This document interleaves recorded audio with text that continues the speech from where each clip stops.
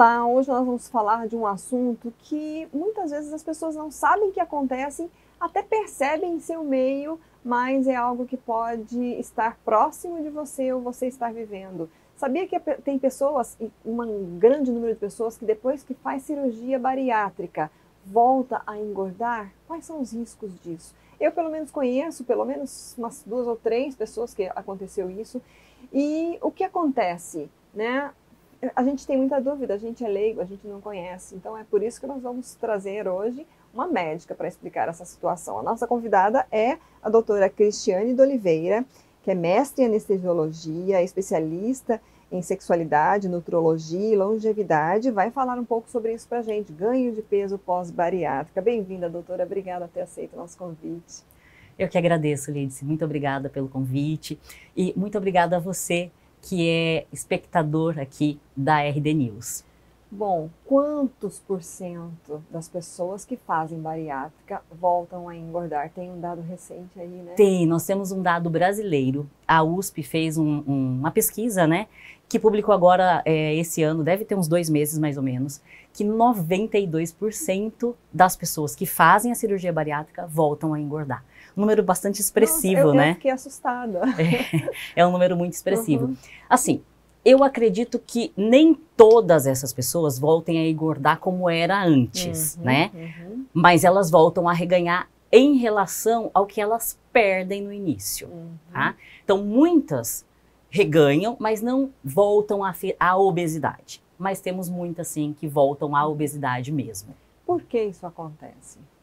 A bariátrica, assim como qualquer outro método né, para emagrecer, seja medicamento, ela é o que a gente chama de muleta. Né? Ela é um meio para você alcançar um objetivo com facilidade, com mais facilidade, uhum. né? Mas para que você mantenha, é necessário a mudança do estilo de vida. Não tem como, não existe fórmula mágica, nada que a gente faça uhum. vai resolver se a pessoa não mudar o hábito. Não é, começar a praticar exercício físico, mudar a alimentação, começar a dormir melhor, né? Então, melhorar o estresse, a mentalidade. Então, é, todos são válidos. Medicação é válida, bariátrica é válida, tudo é válido. Mas a pessoa precisa mudar, senão não tem jeito. É, até uma pessoa que eu conheço que, que há muito tempo fez a cirurgia e voltou a engordar, ela disse que ela tinha uma necessidade do doce, que ela não, como ela não conseguia muito volume, tinha aqueles leite condensado nos, nos né, os, os chocolate nos pacotinhos, ela, ela falava, eu mamava naquele é, negocinho. Então, a aí... gente vê muito uhum, isso, uhum. sabe? É, a, a, a, cirurgia bariátrica, ela faz uma restrição, né? Ela tira uma boa parte do estômago e algumas vezes até uma parte do intestino. É, então, o paciente realmente ele não consegue volume mas leite condensado passa, sorvete passa, né? Uhum. Chocolate passa, mesmo que derretido. Uhum. Então, assim, se não houver essa mudança de mentalidade, vai voltar a engordar e pior, porque aí, é, como a cirurgia restringe, né? Tira uma parte do seu estômago, então restringe um pouco da absorção nesse caso. E se for a cirurgia que retira o intestino, restringe mais ainda, Nossa. então a pessoa volta a ser gorda e desnutrida. Uhum. Quais são, assim, os riscos dessa situação, né? De você, depois de uma bariátrica, você, né? A senhora está falando de desnutrição. A gente fala, ouve falar em desnutrição nas situações de pessoas é, que, né, que não tem, tem condições de tem comprar, né? condições, né? e, né, é. a gente imagina desnutrição aquelas pessoas porque até passam fome, Sim. mas por, por, condições sociais, né? Uhum. Que riscos pode trazer? É, bom, primeiro, qual o risco né, disso acontecer? É, é, muito relacionado às pessoas que já têm compulsão alimentar, né? Uhum. Então a gente uhum. precisa tratar. E pessoas que desenvolvem é, ansiedade e depressão no pós-operatório. Uhum. São os que mais têm risco de reganhar. Então, o acompanhamento psicológico para essas pessoas, e esse estudo, e tem um estudo que mostra, um estudo é, internacional já, que mostra que um acompanhamento psicológico, mesmo que online, a, em longo prazo, né? Porque geralmente faz assim por dois anos. Uhum. Mas isso deveria ser por um tempo maior. Isso ajuda a evitar o reganho. Então, o acompanhamento psicológico é muito importante. E sobre os riscos da desnutrição, né? todo paciente bariátrico ele tem um risco de desnutrição, Uhum. porque a gente diminui a absorção dos nutrientes. Muitas vezes é necessário, assim, a suplementação. Para todos é necessário suplementação. Né? Aham. Todo mundo sai do consultório lá do cirurgião Uhum. com a suplementação de vitaminas, né? É, e de ferro, muitas vezes. Mas alguns, mesmo com a suplementação, não absorve a quantidade necessária e precisa fazer suplementação pela veia ou Uhum. intramuscular. Então, Uhum. existem esses casos, sim. Uhum. A gente tem que tomar cuidado. Quando então a pessoa vai programar uma, uma bariátrica, não seria o ideal ela então iniciar essa reeducação alimentar antes? Porque assim, imagino que deve ser muito difícil o depois, né, entrando nesse processo, né, o corpo sentindo, a mente sentindo e ainda ter que mudar, começar a comer verdura, legume, que todo mundo Uhum. ouve, todo médico falar de todas as áreas, né, tem que comer mais fruta. E aí, como, como seria é, né, essa preparação então? Eu até entendo que nas clínicas de bariátrica eles fazem, tem esse programa, né? Aham, O paciente passa por nutricionista, passa por Antes, né? psicólogo, tudo isso. aham. É, mas eu sempre falo, é, tanto para os meus pacientes familiares e para quem vem me perguntar, falo assim, experimenta a dieta pós-bariátrica antes de fazer a cirurgia. Ah, Se você fizer a dieta pós-bariátrica, assim, a pessoa sente fome, Aham. né? Ela sente, é, assim, ela come aquilo, aquele, é uma dieta líquida por 30 ou 40 dias. É, ela não se sente saciada com aquilo, Aham. né? Mas se ela comer mais, ela vai passar mal. Mas se você conseguir fazer isso sem precisar passar pela cirurgia, talvez seja melhor. Mas na verdade, o que seria mais interessante é ela realmente fazer a reeducação alimentar. Uhum. Para quem realmente. Porque assim, existem pessoas que vão precisar da cirurgia bariátrica, porque são pessoas que precisam ver o resultado rápido. E a, a bariátrica realmente ela tem um resultado fantástico, né? Em dois, três meses a pessoa perde 40 quilos. Nossa. É Aham. muita coisa. Em Aham. seis meses, E assim, a realização de um sonho. De é a realização de um gente, né? sonho. A pessoa se ver emagrecendo é Aham. muito legal, assim. Ela fica muito Sim. animada com o processo. O grande problema é, o estômago é um músculo e assim como qualquer músculo do corpo, se a gente for estimulando, ele cresce, né? Do mesmo Ah. jeito que se eu fizer musculação, o meu, né, meu bíceps vai crescer, o meu estômago cresce. Se eu for aumentando gradativamente a quantidade de alimento que eu ingiro, gradativamente o meu estômago vai aumentando. Nossa. Então, é por isso que vai ficando mais fácil. Então, e, e- e assim, eu já ouvi falar de gente que fez outra bariátrica depois que engordou da primeira bariátrica. Então, é, é por isso o estômago ele, ele, Ele volta cresce. a ganhar volume e cresce e aí. Mas pode fazer outra cirurgia? Pode, assim, é- é- é- como anestesista, na minha Ah. prática de anestesia, eu vejo, assim, com relativa frequência, É. casos de é, que eles chamam de degastré, né, uma segunda bariátrica, ou Aham. mudança da técnica, fez primeiro o sleeve e depois vai fazer um bypass. O sleeve é que corta, tira só o estômago e o bypass é que tira uma parte do intestino, né? Aham. É, então, existem, existem alguns casos. Até falando das técnicas, né? A senhora citou duas. É, existem outras também? Antes, antes falava, se falava também de um anel. é, Isso. Isso A- existe ainda? Ela é menos comum, Aham. né? Antigamente usava mais.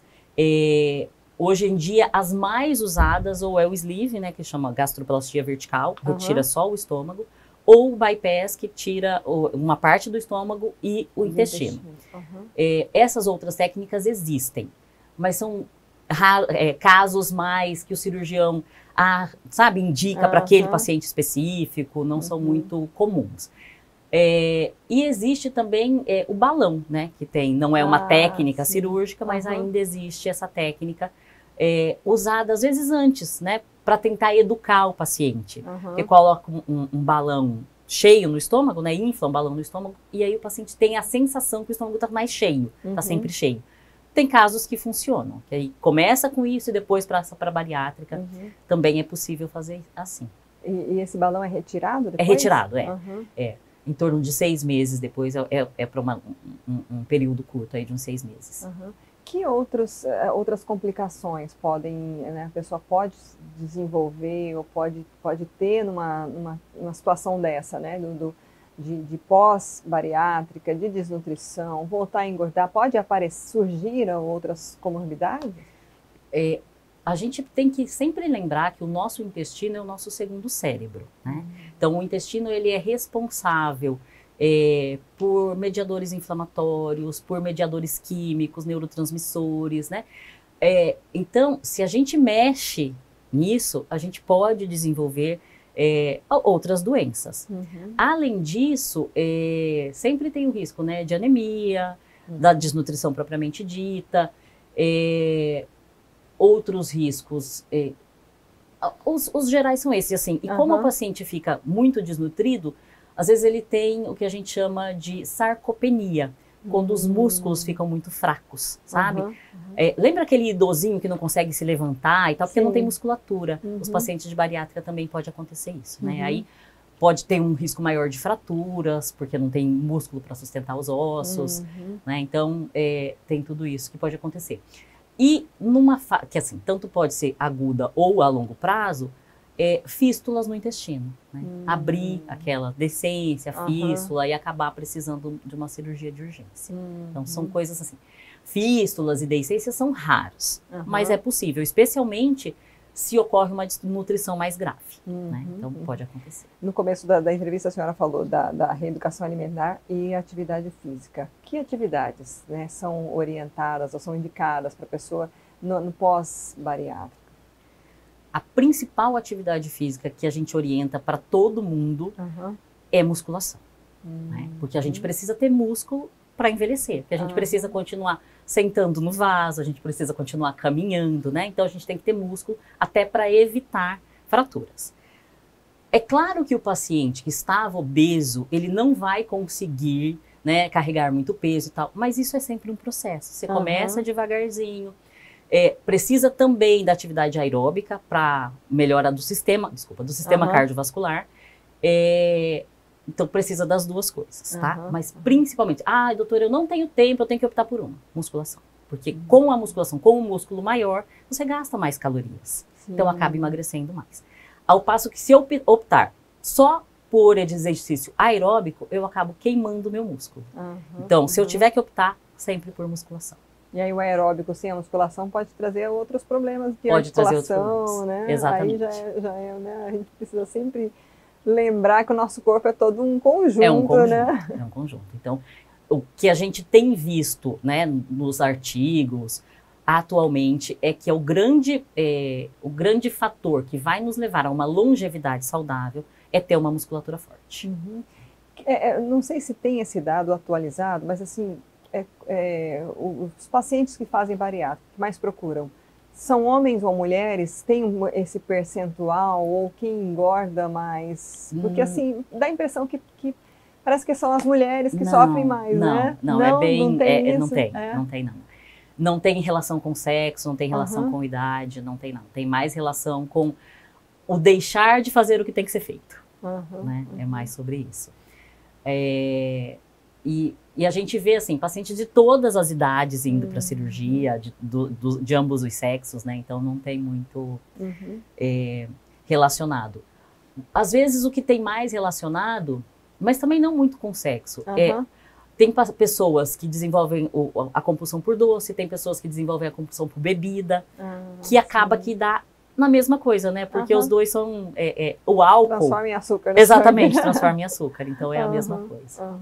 Bom, prevenção, né? Vamos, eu queria que a senhora falasse então um pouco de como evitar, né? Como prevenir que se chegue nesse estado, nessa situação de, necessidade, de precisar de uma cirurgia bariátrica. Até agora, falando para os pais, né, dessas crianças que estão uhum. numa. Nós estamos, a gente recebeu já psicóloga aqui falando que nós estamos numa pandemia mental, né? Porque as pessoas estão ansiosas, estão com síndrome de pânico, estão e as crianças também, uhum. né? Como prevenir, doutora? Voltando às origens, né? Uhum. É sempre a mesma coisa: dormir bem, comer bem, fazer atividade física. A gente tem visto, sim, muitas crianças obesas, é, uhum. tem aumentado o índice de crianças obesas mas por isso é muita tela e pouco exercício. Uhum. Né? Então a gente precisa, a criança tem que correr, a criança tem que ir sujar na lama, precisa disso. Parque, né? Ir para o parque, tem, exatamente. Ah, é calor, mas faz bem, vitamina D para a criança. Uhum. Né? Então a gente precisa voltar para isso. É, e até para ansiedade. Não existe remédio melhor do que exercício físico para ansiedade. Então é comer direito, fazer exercício físico, dormir pelo menos sete horas de noite e, de preferência, estar deitado antes das 10, né? Uhum. Ter contato com a natureza, uhum. sol, terra, né? A gente precisa pisar na terra, é uhum. necessário isso. É... Então são coisas simples. É voltar um pouquinho, tirar um pouquinho das telas, ou, ou a, a, luz do celular, a luz da, né, da televisão, do celular, do computador ela prejudica o nosso sistema. Então, à noite, de preferência, tirar as telas pelo menos duas horas antes de deitar, uhum. para a gente poder ter o, um, um pico do hormônio que vai dar o sono e conseguir dormir uma noite tranquila. Então, são essas coisas. E o grande segredo, gente, assim, eu tive um paciente que uma vez falou: eu vim para me prevenir, porque se eu ficar doente, vocês vão fazer, mandar eu fazer a mesma coisa. Então, eu já vim para começar. é, é, então é isso. Tanto faz se você tá antes ou depois, é a mesma coisa. É comer direito, fazer uhum. exercício físico, dormir bem e cuidar da saúde mental. Dá trabalho, mas Dá é trabalho. possível, né? É possível. Mas realmente é, é vida de adulto, Sim, né? Dá trabalho. Uhum. Tem idade mínima falar nisso para fazer a bariátrica? Falando em... Olha, eu já vi pacientes de 17 anos, uhum. não menos do que isso, mas 17 anos precisa ter a anuência dos pais. Ah, sim. Alguma questão que a gente não abordou? Falhou mesmo que a senhora acha que considera importante ressaltar? Não, eu acho que a gente foi bem. Conseguimos bem, abranger bem, né? Bem. Então agora eu queria que a senhora passasse aí os seus contatos, aonde a senhora atende, suas redes sociais, uhum. porque as pessoas que estão nos ouvindo podem querer também, de repente, uma avaliação, querer tirar dúvidas.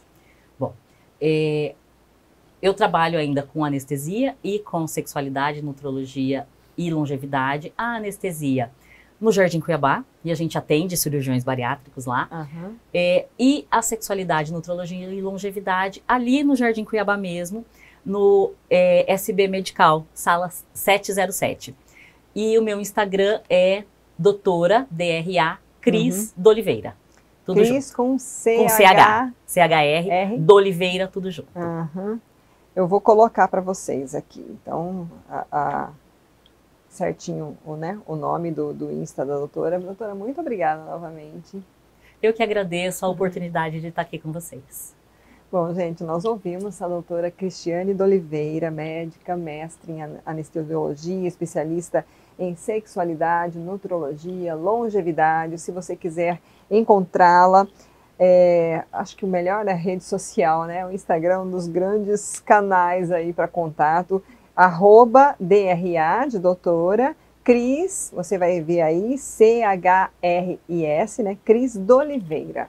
Aí é só procurar, manter contato, procurar as informações lá e também indicar. Por isso que eu falei lá no começo, porque a gente sempre conhece alguém próximo, alguém na família, algum amigo que está passando ou vai passar por uma cirurgia bariátrica e precisa dessas informações. Então curta, compartilhe, mande nos grupos de WhatsApp. Obrigada pela audiência, até a próxima.